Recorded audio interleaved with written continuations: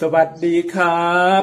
Toys and Candy ของเด็กเล่นขนมเด็กกิน วันนี้เราก็มาพบกันอีกครั้งนะครับผมนะฮะครั้งนี้ก็จะเป็นการรีวิวต่อเนื่องนะครับผมจาก ลายมูเก้นไบนะครับผมซึ่งก็รีวิวมา 3 คลิปนะครับ จะมีตั้งแต่ตัวแรกแล้วก็ 2 ตัวแล้วก็เป็น 3 กล่องครั้งที่แล้วนะครับ ปรากฏว่าครั้งที่แล้วนะครับมึน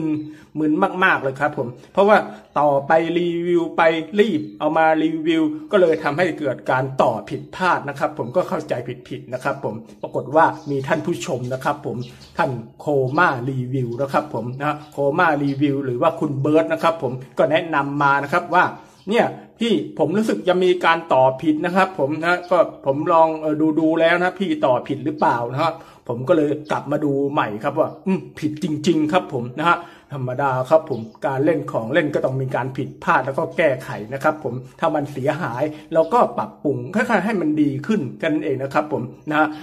ผิดตัวไหนจะเป็นแบบไหนอย่างไรนะครับ เดี๋ยวมาดูกันครับผม แล้วก็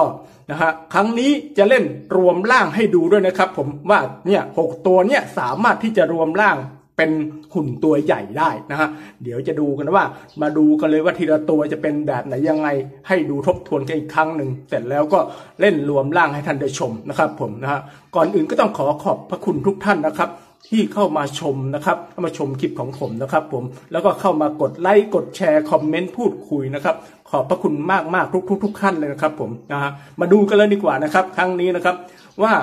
เออท่านโคม่ารีวิวนะฮะหรือว่าเออท่านเบิร์ดนะครับ ผมแนะนำมาผิดตัวไหนครับ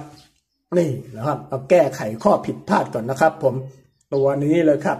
ช้าง นะฮะช้างนี่ครั้งก่อนนะครับ ผมก็ประกอบอย่างเงี้ยนะครับ ผมนะหน้าตาเป็นแบบเนี้ยที่ว่ามันมีส่วนผิดพลาดก็คือตรงหัวตรงนี้ เอ๊ะทำไมถึงไม่มีตรงนี้จริง ๆ ไม่ใช่นะครับ ผมผมไปดูแล้วนะฮะจริง ๆ แล้ว มันก็คือว่าผมต่อผิดเองนะครับเพราะรีบต่อนะครับ ผมนะก็เนื่องจากตรงนี้นะครับ สังเกตด้านด้านหลังนะครับ ด้านหลังกล่องนะครับในนี้เป็นตัวช้างนะครับ ผมนี่เขาก็จะมีคล้ายๆแบบเป็นกล่องสี่เหลี่ยมอยู่ข้างบนนะครับ ผมนะฮะแล้วเออตรงตรงนี้นะครับเขาจะเป็นข้อต่ออันเดียวขาหน้าที่เป็นรูปคล้ายๆมือนะครับเนี่ยฮะเป็นจุดจุดเดียวนะครับ ผมนะตอนนี้ผมไม่รู้ว่ามันเป็นด้านหน้าด้านหลัง ปรากฏว่าผมไปต่อเนี่ยปุ่มขึ้นข้างบนไม่มีกล่องสี่เหลี่ยม แล้วมือตรงนี้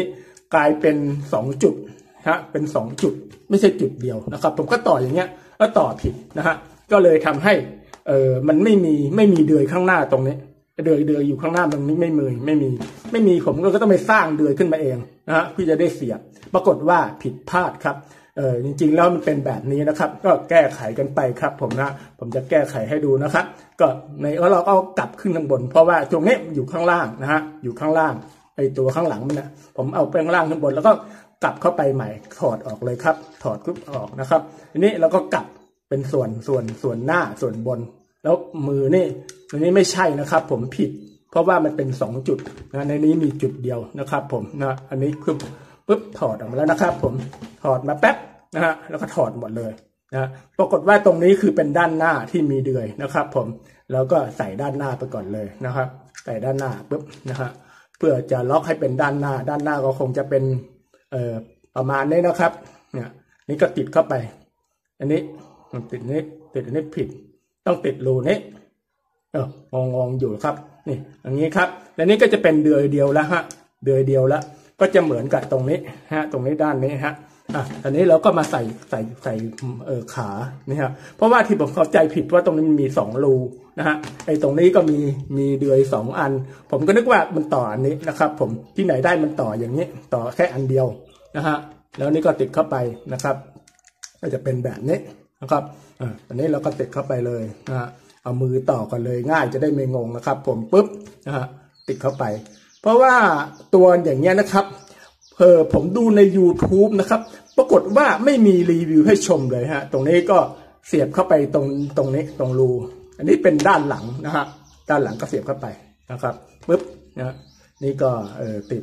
แบบนี้อันนี้เราก็หมุนขาหมุนขาออกเพราะขาเขาอยู่ตรงนี้นะครับ หมุนไปด้านหน้านะครับ หมุนไปด้านหน้าปุ๊บหมุนแค่นี้เอง เขาก็จะเป็นด้านหน้าแล้วครับ ผมตรงนี้ก็เอานี้ขึ้น นี่นี่ขึ้นปุ๊บนะตรงนี้ก็ถูกต้องแล้วตอนนี้ข้างหน้าเขาก็จะมีเดือยแล้วครับ ผมนะฮะหาดูในคลิปไหนก็ไม่มีรีวิวให้ชมนะครับ ผมก็เลยงงๆตัวนี้ก็ดึงเดือยทิ้งเอาไม่ไม่ใช้เดือยละอันนี้ก็ถูกต้องแล้วก็เสียบเข้าไปปั๊บจบนะฮะโอ้โหเออผมขอขอบพระคุณมากๆครับเออคุณเบิร์ตนะครับ ผมหรือว่าเออช่องเออ โคม่ารีวิวนะครับผมนะซึ่งท่านก็ได้รีวิวของเล่นโอ้ยหลายอย่างมากเลยครับเออดีๆทั้งนั้นเลยครับผมนะท่านใดสนใจของเล่นก็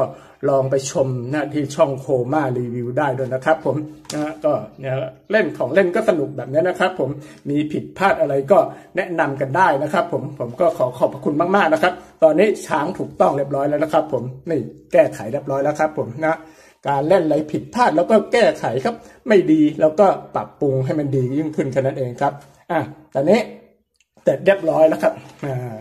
ถูกต้องหมดทุกตัวและก็ดีหมดทุกตัวนะครับ นี่มาดูที่ตัวแรกเลยกันนะครับ ลิงอันนี้ไม่ได้ใช้แล้วครับผมอ่านี่ก็ลิงนะครับ แขนเขาเคยจับได้นะครับ ผลหมุนได้เพราะครั้งก่อนก็ไม่ได้รีบรีวิวนะครับ อันนี้ ปีกเขาก็จะข้างคล้ายเป็นปีกพับขึ้นลงได้นะครับ ผมลิงนี่ก็จะตัวเล็กๆนะครับ อยู่ที่ประมาณสักเจ็ดเซนนะครับ ผมมีอาวุธเป็นกระบองนะครับ ผมนี่หมุนได้มีหางนะครับ หางหางนี่ก็หมุนได้นะครับ ผมนี่เป็นหางลิงนะครับ ผมอ่าอย่างนี้ให้ดูลิงแล้วนะครับเรียบร้อยนะครับอ่าตอนนี้ครั้งก่อนก็รีวิวเจ้ากระทิงลิง ช้างแล้วก็กระทิงนะครับ ผมตรงนี้นะครับ กระทิงก็จะมีส่วนปีกไอ้ตรงนี้ก็คล้ายเป็นที่อาวุธยิงอย่างเงี้ยนะครับ ผมเนี่ยก็ติดข้างหลังแบบนี้นะครับ ปากของกระทิงเขาจะอ้าได้นะครับ ผมนี่หัวก็หมุนได้ซ้ายฝา เพราะว่าเป็นคล้ายที่เสียบเข้าไปเฉยๆเสียบไปแบบนี้พงกขึ้นลงได้พงกหัวขึ้นลงได้นะครับ ผมกระทิงนะครับนี่แค่นี้เองปากอ้าได้นะครับเขาก็จะมีส่วนที่ตรงนี้ เป็นเออเรียกว่าขาหลัง ขยับได้หมดครับ ผมพวกนี้เป็นเก็บเก็บเข้าไปเฉยๆนะครับ ผมอะอันนี้ก็อ่าช้างก็ให้ดูแล้วนะครับ ช้างตรงนี้เขาจะเปิดได้นะฮะนี่ไงครับ เปิดข้างไปข้างหลังได้ อืมฮะเปิดอย่างนี้ได้นะครับ ผมอ่า เรียบร้อยแล้วนี่ส่วนสองตัวนี้กับตัวด้านหลังก็รีวิวให้ท่านชมหมดแล้วนะครับ ผมอ่าตอนนี้ให้ดูกันว่าเนี่ยมีหกแบบนะครับ ผมเอาละครับ แก้ไขเรียบร้อยแล้วครับ ตอนนี้งานดีหมดทุกตัวนะครับ ผม เดี๋ยวเรามาเล่นเออรวมร่างกันดีกว่านะครับ ผมนะเดี๋ยวผมจะทำรวมร่างให้ดูนะครับ ผมเอาละครับเนี่ยเดี๋ยวขอเอาไปรวมร่างก่อนครับ ผมเรียบร้อยแล้วครับโอ้โหกว่าจะนั่งคิดแปลงร่างเลยว่ารวมร่างได้ คือเอาตัวนู้นมาใส่ตัวนี้ตัวนี้มาใส่ตัวนู้นนะครับ ผมมึนมากเลยครับ ผม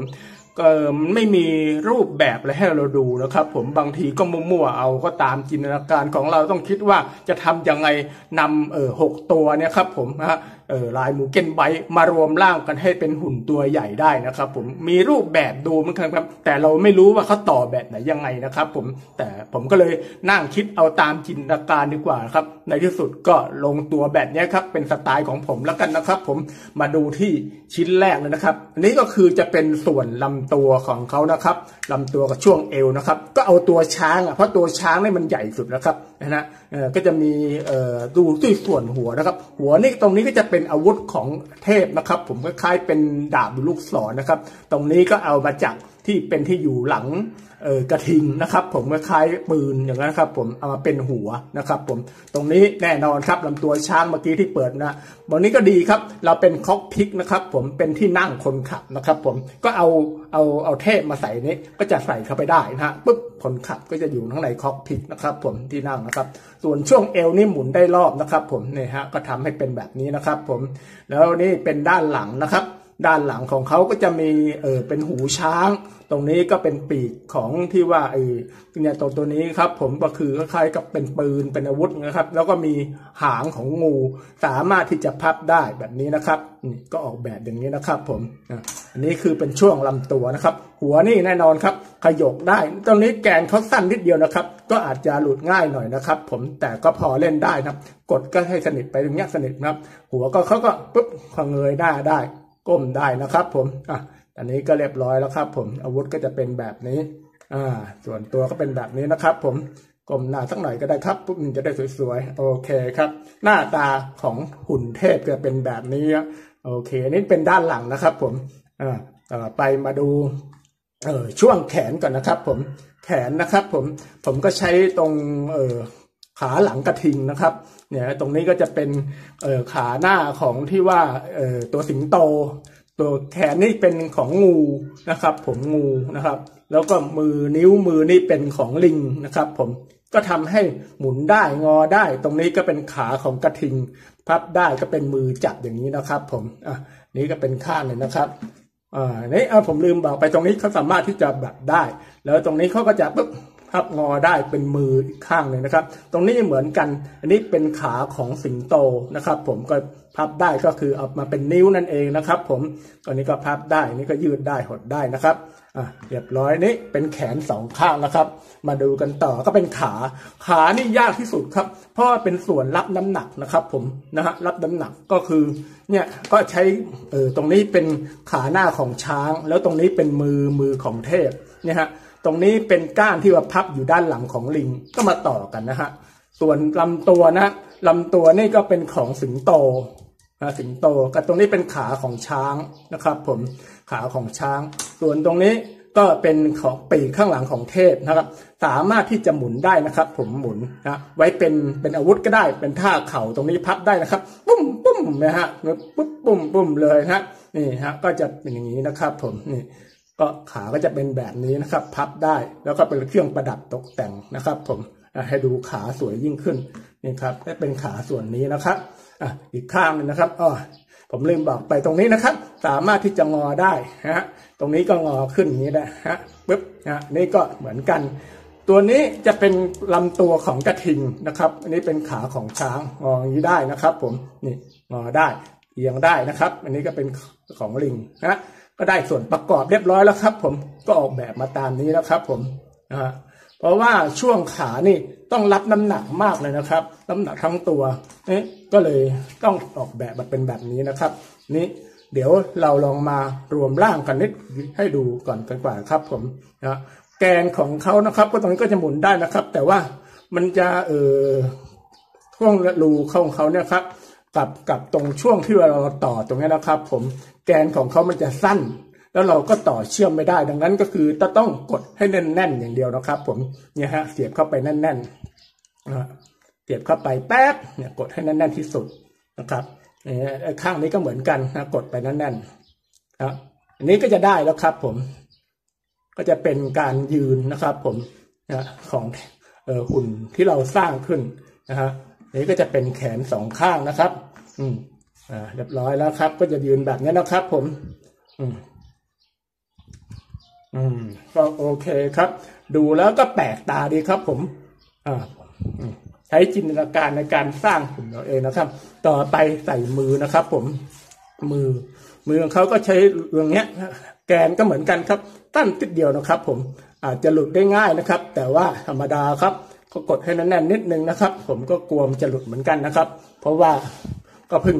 หัดต่อหุ่นครั้งแรกนะครับ ผมนะฮะแต่ว่าก็คิดสร้างสรรค์เอาเองว่าน่าจะเป็นแบบนี้แบบนี้ตามจินตนาการของเราอย่างนี้นะครับ ก็จะเป็นแบบนี้เองฮะก็ได้หุ่นแล้วครับ หุ่นเทพเจ้าอะไรก็ไม่รู้นะครับ ผมผมก็คิดเอาเองส่วนตรงนี้จะเป็นเกาะด้านหน้านะฮะเกาะด้านหน้าก็เลยสร้างเกาะขึ้นมานะครับ เกาะก็ใช้ตรงเออลำตัวของช้างนะครับ ส่วนตรงนี้ก็จะเป็นส่วนช่วงคอของ เทพนะครับ อันนี้ก็จะเป็นงาช้าง อันนี้ก็จะเป็นหัวหัวหัวของเออกระทิงนะครับ อันนี้เป็นหน้าสิงโต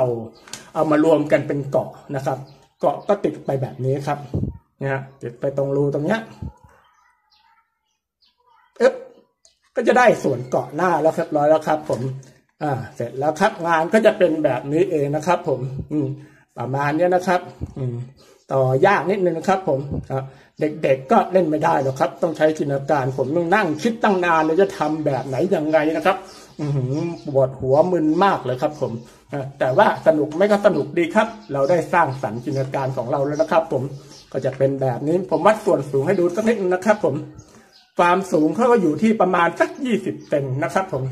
นะครับประมาณนี้สิบเก้ายี่สิบเซนฮะสิบเก้าเซนยี่สิบเซนนะครับ ผมประมาณนี้เองนะครับ เนี่ยฮะ ความหนาเขาพอรวมร่างแล้วก็อยู่ประมาณสักสิบเด็ดสิบสองเซนนะครับ ผม อืมเรียบร้อยแล้วก็เราก็ได้หุ่นแปลกๆในหนึ่งตัว ซึ่งก็เป็นตัวเดียวในโลกแล้วกันนะครับไม่มีใครทำเลยขนาดรีวิวยังหาดูยากเลยอะก็ต้องมีอาวุธนะครับ ผมนี่ผมก็สร้างอาวุธขึ้นมานะครับ นี้ถ้าเราเอามารวมตัวมากๆ เนี่ย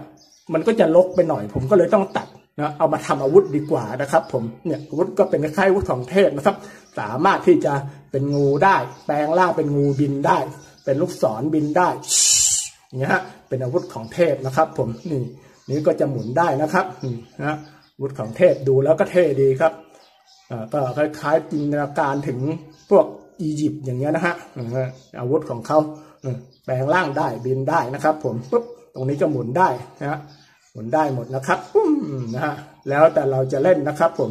อะอันนี้เวลาช่วเขาถือก็ถือแบบนี้ครับปุ๊บก็จับใส่เข้าไปนะครับอืกดแน่นๆนิดนึงนะครับ อืมจับใส่เข้าไปแบบนี้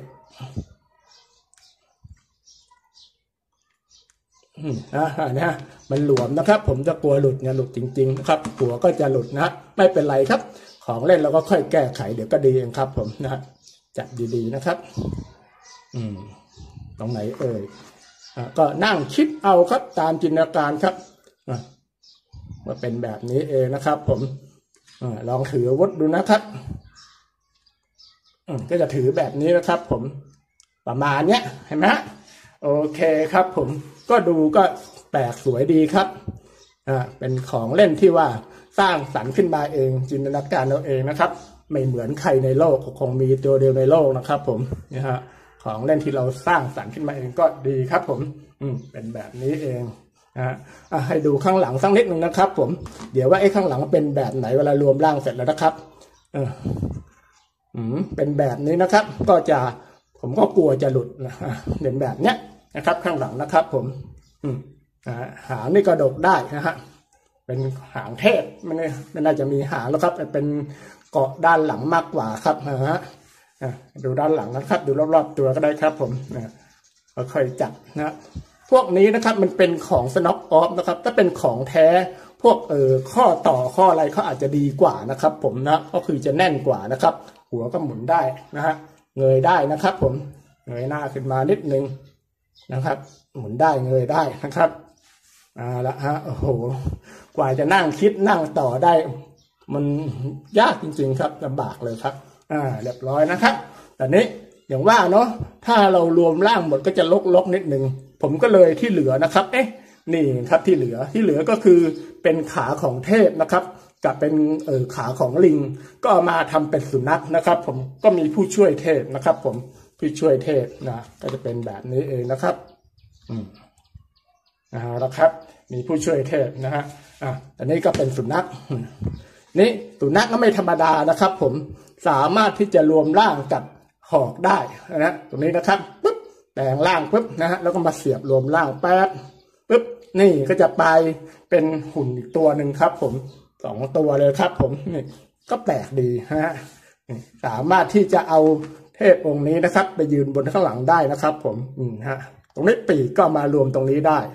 ก็กลายเป็นสุนัขมีปีกเนี่ย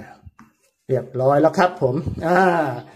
โอเคครับผมคราวนี้ก็ได้ดูหุ่นแปลกๆรวมร่างให้ดูแล้วนะครับ ผมนะคลิปนี้ก็ต้องขอขอบคุณทุกท่านนะครับ ที่กดติดตามกดไลค์กดแชร์คอมเมนต์พูดคุยนะครับ ผม